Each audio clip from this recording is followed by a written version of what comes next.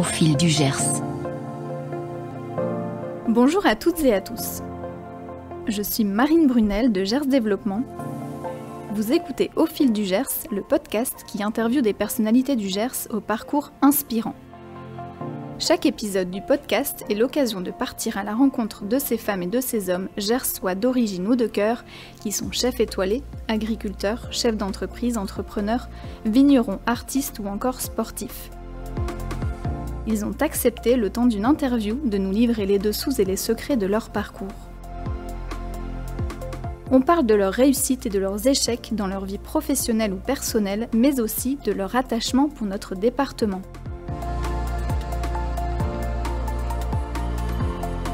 Vivre dans le Gers, c'est apprécier la qualité de vie, le dynamisme économique, la gastronomie, le patrimoine culturel et historique, les paysages naturels, la gentillesse des habitants, l'agriculture, les produits frais locaux et bio, les loisirs, bref, on est heureux dans le Gers. C'est la nature qui a raison, disait Maurice Mességuet, que l'on surnommait le pape des plantes. Fils d'un modeste paysan gascon, il était l'un des précurseurs en Europe de la phytothérapie, une pratique visant à traiter les maladies par les plantes et leurs extraits. Il a soigné au naturel plusieurs grandes personnalités de ce monde, dont Mistinguett, Winston Churchill ou encore Jean Cocteau. Aujourd'hui, chers auditeurs, nous allons parler du pouvoir des plantes qui contribuent à notre bien-être à tous. J'ai le plaisir d'accueillir sur le podcast Bérénice Guyot, directrice générale des laboratoires Mességuet. Créés en 1958 et basés à Florence dans le Gers, les laboratoires Mességuet perpétuent le savoir-faire de son fondateur Maurice Mességuet pour élaborer le meilleur de la phytothérapie moderne. Crème naturelle, tisanes, compléments alimentaires ou encore huiles essentielles, les laboratoires Mességuet offrent une gamme complète de produits qui répondent à des critères de qualité très élevés permettant au plus grand nombre de profiter des bienfaits naturels des plantes pour leur santé, leur bien-être et leur beauté. Qui est Bérénice Guyot, notre invitée du jour? Originaire de Lorraine, le sud-ouest a toujours été la région de cœur de Bérénice. De formation commerciale, elle a commencé sa carrière par le terrain en vendant des espaces publicitaires dans différentes régies. Elle a ensuite repris des études en marketing stratégique avant de travailler pendant dix ans au Pays Basque dans un centre de thalassothérapie. Bérénice a ensuite rencontré l'homme qui deviendra ensuite le père de son petit garçon, et étant originaire du Gers, son mari lui a proposé de s'installer dans le département. Après avoir travaillé trois ans pour les ducs de Gascogne, Bérénice reçoit un appel qui changera le cours de sa carrière. Philippe Ginesté, propriétaire des laboratoires Mességuet depuis 2010, propose à Bérénice de reprendre la direction des laboratoires Mességuet, et c'est sans hésiter que Bérénice décide de se lancer dans l'aventure. Dans cet épisode, Bérénice Guyot nous parle des plus grands projets de l'entreprise ces dix dernières années et de ses futures ambitions. Circuit court, traçabilité, amélioration continue de la qualité des produits, voilà toute l'ADN des laboratoires Mességuet et ce qui fait la différence avec ses plus grands concurrents. Un épisode riche en saveurs, je ne vous tiens pas en haleine plus longtemps, place tout de suite à ma conversation avec Bérénice Guyot. Bonjour Bérénice. Bonjour Marine. Merci de nous recevoir dans les jolis locaux euh, des laboratoires Mességuet euh, à Florence. Alors Bérénice, cela fait maintenant un peu plus de dix ans hein, que vous êtes euh, arrivée dans le Gers. Vous étiez auparavant au Pays Basque et encore avant cela en Lorraine. Qu'est-ce que vous pensez de notre territoire? Qu'est-ce qui vous plaît plus particulièrement? Alors, c'est un plaisir de vous recevoir au cœur de la ville de Maurice Mességuet, bien sûr. Et, le Gers, c'est la vraie vie. C'est la nature, des paysages époustouflants, entre histoire et modernité. C'est le pays du bien vivre. Je partage totalement euh, votre point de vue. Alors faisons un petit retour en arrière. Il y a dix ans, vous êtes salarié des Ducs de Gascogne et vous recevez le coup de fil qui va changer le cours de votre carrière. Celui de Philippe Ginesté. Il est PDG de Jiffy et propriétaire des laboratoires Mességuet. Comment avez-vous réagi lorsqu'il vous a fait cette proposition par téléphone de devenir la directrice générale des laboratoires Mességuet? Alors il m'a tout d'abord invité à Villeneuve-sur-Lot au siège de Jiffy, et je ne savais pas encore de quoi il allait me parler. Mais je vous avoue que j'osais imaginer qu'il allait me parler des laboratoires Mességuet. Cette rencontre avec Philippe Ginesté, ça a véritablement changé ma vie. Il m'a donné la chance de pouvoir diriger une très belle entreprise avec une histoire et des valeurs, au-delà de toute ambition marketing. Le saviez-vous Maurice Mességuet écrivait en 1958 C'est la nature qui a raison. 60 ans plus tard, ça a encore plus de sens. Alors, lorsque vous êtes nommée directrice générale des laboratoires Mességuet, dans quelle situation se trouve l'entreprise? Alors l'entreprise venait d'être achetée trois ans auparavant par Philippe Ginesté et elle était effectivement euh, à cette époque dans une situation financière euh, assez particulière et, compliquée.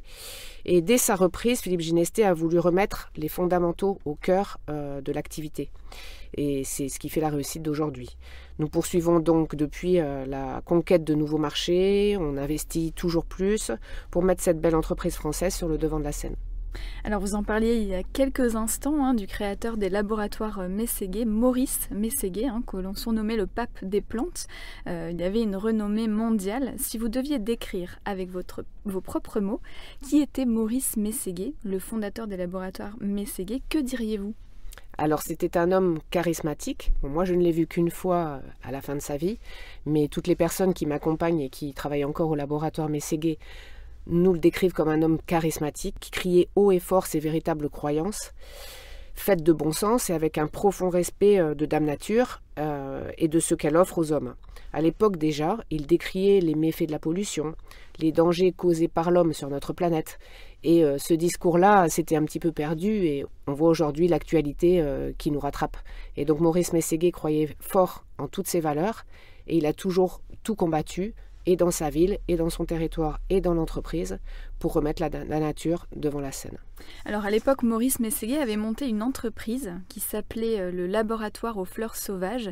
Ce labo était spécialisé dans les cosmétiques à base de plantes des jardins et des champs, comme la camomille, le coquelicot, la rose. Savez-vous pourquoi, à un moment donné, il est retourné dans le Gers? Alors tout simplement parce que le Gers était pour lui la plus belle représentation du meilleur de la nature. Il aimait les hommes vrais, il aimait la campagne, il aimait le, la terre. Et euh, ces terres riches, les pierres gorgées d'histoire, les laboratoires Mességuet ne pouvaient être que dans le Gers. Et alors c'était aussi un homme très engagé, non hein, Il me semble pour l'environnement, la santé, il a même fait de la politique, je crois. Euh, il était maire de Florence, c'est bien ça? Oui, durant trois mandats, il a été maire pendant 18 années, et il a véritablement transformé la ville de Florence. Il a apporté de l'emploi avec des entreprises, nombreuses entreprises, même venues de, l'extérieur, pour venir s'implanter, euh, s'implanter à Florence.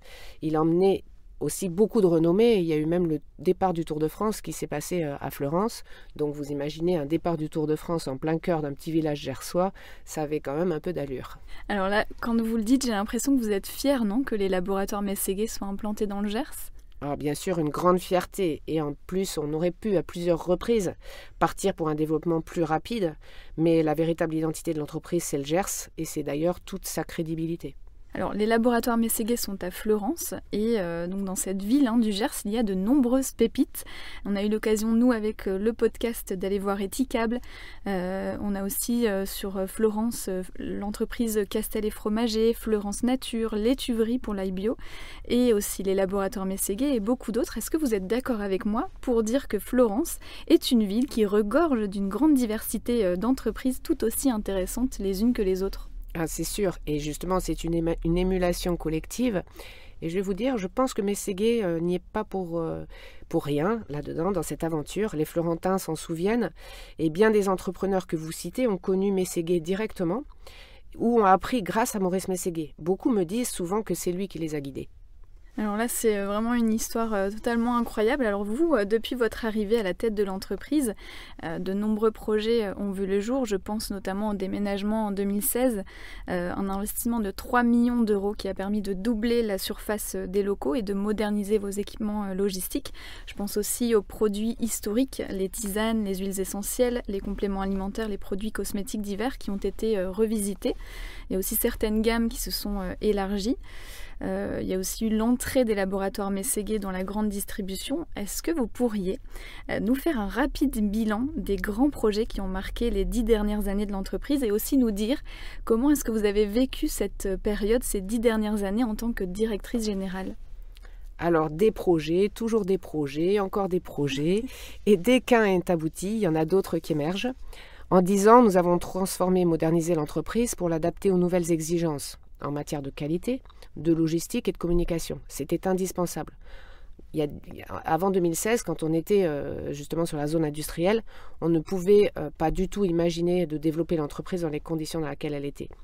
Ces dix années ont été riches en événements, en en rencontres, en relations humaines et surtout, nous avons réussi à créer une équipe hyper soudée, fière et investie. J'ai 26 personnes qui travaillent à mes côtés sans compter pour être là pour ceux qui croient en la richesse de notre nature. Bon, alors on sent que vous avez vraiment euh, l'esprit euh, d'entrepreneuriat. Euh, alors, avec la crise sanitaire, de nombreuses entreprises ont dû revoir leur stratégie marketing et accélérer notamment leur transformation numérique. est-ce que ça a été le cas pour vous? Est-ce que vous avez dû renforcer votre présence en ligne? Et est-ce que vous avez aussi mis peut-être plus de moyens sur ce canal pour gagner en visibilité? Alors, nous étions déjà dans cette stratégie avant la crise sanitaire. Beaucoup de personnes se sont tournées vers des solutions naturelles pour se protéger et renforcer euh, l'immunité, la vitalité pendant cette période. Et nous avons maintenant une équipe de quatre personnes qui travaillent au développement de ce nouveau canal web. Donc oui, on a investi encore plus parce que ça va encore plus vite et qu'il faut justement être prêt parce que c'est le monde de demain. Alors j'ai vu notamment sur YouTube hein, euh, que vous aviez euh, développé des tutos euh, pour comment faire son, déodorant naturel ou voilà vous avez aussi proposé des petites recettes de Maurice. donc ça c'est une nouvelle stratégie aussi que, vous mettez en place peut-être pour toucher une nouvelle, nouvelle catégorie de clients. Oui, alors donc on vise forcément les plus jeunes avec justement toute cette démarche de do it yourself donc de cosmétiques maison, de petites recettes de grand-mère. Donc on voit que c'est justement quelque chose qui revient sur le devant et c'est très important pour communiquer avec nos jeunes et surtout que nous on a la crédibilité, on a l'histoire, on on est riche d'énormément de recettes faites par Maurice Mességuet qu'on revisite à la mode actuelle avec des nouveaux produits et qu'on essaye d'adapter pour justement donner euh, des petits conseils au quotidien.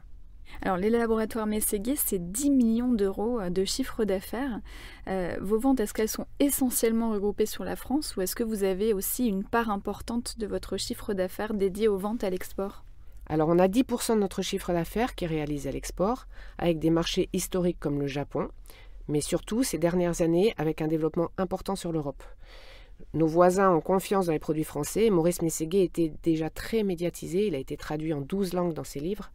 Et donc le nom de Maurice Mességuet sonne aussi beaucoup à travers l'Europe. Oui, il est toujours là en fait au quotidien dans l'histoire euh, de l'entreprise et c'est ça aussi euh, qui est beau dans votre histoire.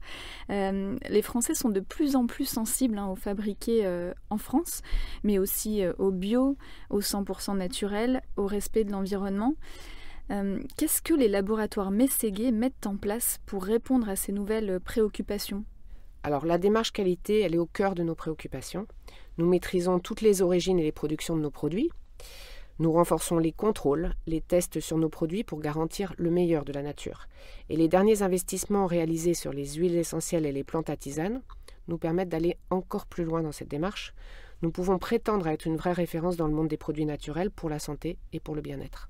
Alors justement, vous parliez euh, à l'instant euh, d'un investissement. Est-ce que c'est celui euh, dont on a entendu parler il n'y a pas longtemps avec le plan de relance? Oui, tout à fait. Donc, on a été soutenu par France Relance et la région Occitanie dans un investissement de près de 700 000 euros dans une chaîne d'embouteillage qui nous permet aujourd'hui de pouvoir maîtriser totalement la traçabilité, l'origine et euh, l'embouteillage de nos produits d'huile essentielle et d'aller chercher bah, vraiment euh, la meilleure essence, la meilleure origine pour nos clients. Et alors aujourd'hui, combien de références vous avez dans votre catalogue de produits? Alors on a près de 400 produits de la plante sèche à la cosmétique, aux compléments alimentaires et aux huiles essentielles. La plante et ses principes actifs sont toujours au cœur de tous nos développements. Et alors d'où viennent la plupart de, votre, de vos matières premières? Par exemple, si je prends les plantes sèches? Alors, nous privilégions dès que c'est possible une origine France et développons des partenariats même avec des acteurs gersois. Pour l'ail noir par exemple ou la lavande. Euh, et lorsque les plantes viennent de l'étranger, c'est qu'elles ne peuvent pas être cultivées en France. Et dans ce cas, on essaye quand même de gérer la totale maîtrise de la production, de l'origine, et même d'aller voir les producteurs dès que cela est possible. Alors vous disiez à l'instant que vous avez plus de 400 références euh, dans votre catalogue produit. Est-ce que vous pourriez nous dire quels sont vos produits phares, les top ventes? En ce moment, c'est un petit peu biaisé euh, par l'actualité, mais euh, aujourd'hui, tout ce qui permet de renforcer l'immunité, la Ravinsara, l'huile essentielle de Ravinsara, l'eucalyptus radié, le titri, pour toutes ces, ces actions purifiantes, mais aussi le magnésium, la vitamine D et l'ail noir qui fait un grand retour et qui revient en force justement pour toutes ces actions sur le cœur et qui est en plus produit dans le Gers. Tout à fait, voilà. Alors pour faire tourner cette belle entreprise, combien d'employés travaillent pour les laboratoires Mességuet Alors aujourd'hui nous sommes 26 et bah, nous dépasserons très rapidement les 30 personnes. C'est un mix de générations qui crée une émulation permanente. On a des passionnés euh, à tout niveau, de belles personnes et c'est bien plus que des employés. C'est beau ce que vous dites. Est-ce qu'il y a des recrutements à venir? Alors la prochaine arrivée, c'est notre chef de ligne justement pour le projet d'embouteillage. Et nous renforçons encore notre service qualité et au niveau des achats prochainement. Si une personne souhaite travailler pour les laboratoires Mességuier, allez-vous plutôt la recruter pour euh, sa personnalité, ses valeurs ou ses compétences? Quelles sont les qualités que vous jugez nécessaires pour intégrer votre entreprise? Alors la première, c'est l'intégrité, l'envie et le partage. Les compétences, ça s'acquiert, mais les valeurs, elles font partie de la personnalité, donc c'est avant tout la personnalité. Je suis totalement euh, d'accord avec vous. Alors comment est l'ambiance euh, de travail? Est-ce qu'elle est plutôt collaborative ou plutôt indépendante? Alors, il faudrait demander à mes salariés ce qu'ils en pensent. Mais dans tous les cas, je pense que euh, c'est surtout collaboratif. On a besoin de tout le monde, j'ai besoin de tout le monde, et tout le monde participe à tous les projets, tous les grands projets comme les petites tâches. J'aime cet esprit de famille et de partage, et donc il nous arrive même pendant les pauses d'aller coller des étiquettes pour donner un coup de main, et puis de faire aussi des réunions avec tous les employés quand on parle de grands projets. Et ça, ça doit aussi participer à la motivation, je suppose, de toute votre équipe. Alors parlons un petit peu de vous maintenant, Bérénice. J'ai aperçu une photo de vous il y a quelque temps sur les réseaux euh, sociaux à l'occasion de la visite de deux ministres, donc Elisabeth Moreno et Agnès Pannier-Runacher, chez Air Support à Pujaudran. Une visite qui avait pour objectif de mettre à l'honneur les femmes dans l'industrie et la féminisation des métiers. Euh, l'index de l'égalité professionnelle entre les femmes et les hommes, c'est un sujet important pour vous? Alors, c'est un peu rigolo cette, question, puisque j'ai dit en conclusion de cet entretien que je n'étais pas forcément un exemple de parité chez Mességuet. C'est un peu l'inverse. À cette époque, il y avait 4 hommes et 20 femmes. depuis, il y a eu 4 nouveaux messieurs qui sont venus nous rejoindre et je m'en réjouis. Euh, en fait, bah, nous, on a plus de femmes par, la nature des produits euh, qui, qui, postulent chez nous. J'aimerais bien avoir plus d'hommes, mais malheureusement, c'est assez, euh, assez décorrélé. Et bon, pour vous dire, je ne suis pas pour la parité, juste pour l'égalité des chances. Voilà, on a bien compris s'il y a des hommes euh, qui nous écoutent et qui ont envie de travailler pour une belle entreprise gersoise à Florence, euh, n'hésitez pas à vous rendre sur le site internet de, des laboratoires Mességuier ou à venir aussi euh, vous présenter directement sur place. Bien sûr. Alors, je voudrais avoir votre avis sur un sujet. Euh, les herboristes, hein, ce sont des personnes qui vendent des plantes médicinales, euh, des préparations à base de plantes. Eh bien, ces personnes-là n'existent plus juridiquement en France depuis 1941, hein, sous le mhm. régime de Vichy, alors que dans d'autres pays, hein, par exemple la Belgique, le Canada, ils pratiquent encore. À l'heure où l'on parle de plus en plus du mieux manger, d'utiliser des produits naturels pour notre corps, même se soigner au naturel, est-ce que vous pensez que les herboristes devraient être autorisés à exercer leur métier dans notre société? Sujet sensible, Marine. Euh, bien sûr qu'ils ont toute la légitimité à exercer. Euh, moi, j'ai voyagé euh, pas mal, justement, au cours de, des dix ans passés chez Mességuet. J'ai vu des pays où on avait même l'herboristerie à côté de la pharmacie.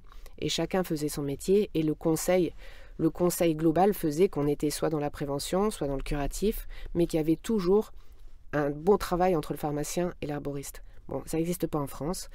Et justement, je pense qu'il y a, il y a beaucoup de politique là-dessous. Il y a du lobby.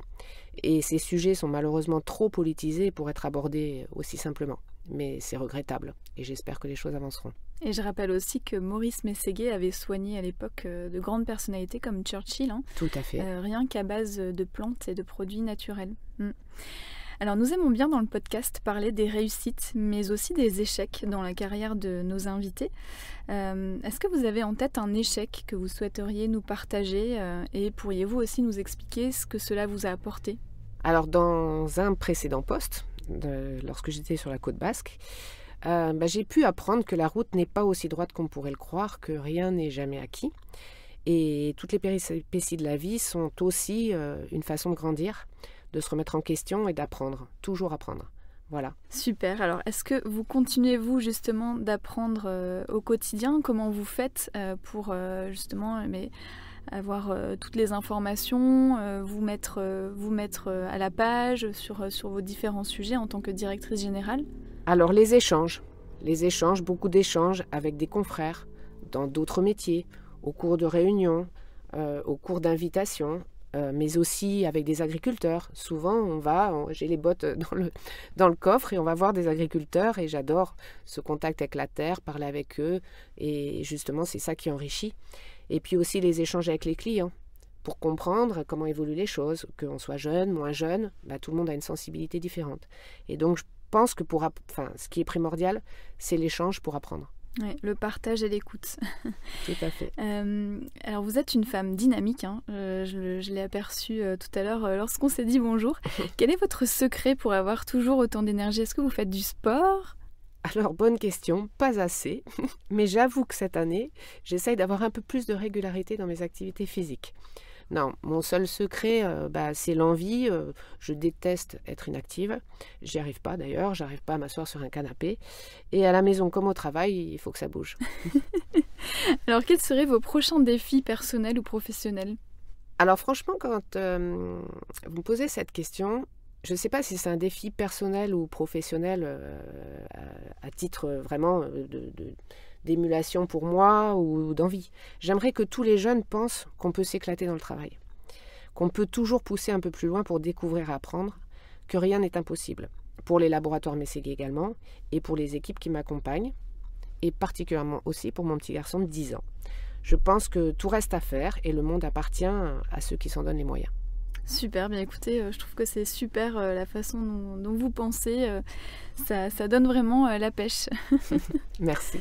Pour la dernière partie du podcast, je vais vous poser 5 questions, donc un peu décalées, pour terminer en beauté et euh, pour mieux aussi euh, vous connaître. Vos réponses à ces questions seront filmées et les auditeurs pourront les retrouver sur la toute nouvelle page Instagram euh, du podcast au fil du Gers. Est-ce que vous êtes prête, Bérénice? Je suis prête, j'ai un peu peur. rock and roll ou opéra? Alors plutôt rock and roll, mais bercé depuis toujours par l'opéra. Si vous deviez jeter une bouteille à la mer, quel message glisseriez-vous dedans Alors, tu es toujours libre de changer d'idée si tu as envie de changer le monde. Votre huile essentielle indispensable et pourquoi alors il y en a plein, j'en ai plein ma douche et plein ma salle de bain, mais ma préférée c'est l'huile de bergamote parce qu'elle m'apaise. Un livre qui vous inspire alors, euh, il y a un livre qui m'a bouleversé euh, ces derniers temps, c'est Dans la forêt de Jean Egland. Votre chanson préférée? Oh, il y en a plein. Mais par contre, je pense que je dirais Feeling Good, revisité par euh, Matthew Bellamy de Muse. Et ce serait quoi? Feeling nous Good. Chanter, nous chanter l'air? Impossible. Alors ça, je ne veux même pas m'y risquer. Merci beaucoup Bérénice pour nos échanges si passionnants. Euh, merci de nous avoir aussi éclairé sur le pouvoir des plantes. Le Gers peut être vraiment fier d'avoir une entreprise comme les laboratoires Mességuier sur le territoire. Euh, je vous souhaite beaucoup de réussite et de succès dans votre nouveau projet et je vous dis à bientôt quelque part dans le Gers. Merci Marine, merci pour tout. Chers auditeurs, je m'adresse à vous maintenant. Si le podcast vous a plu, le meilleur moyen de nous le dire et qui va nous aider à le faire connaître, c'est simplement de laisser un avis 5 étoiles ou un commentaire sur l'application iTunes ou sur votre plateforme d'écoute préférée. Deezer, Spotify, SoundCloud. Ça nous aide vraiment, alors on compte sur vous. A très vite sur Au fil du Gers pour connaître le nom de notre prochain invité.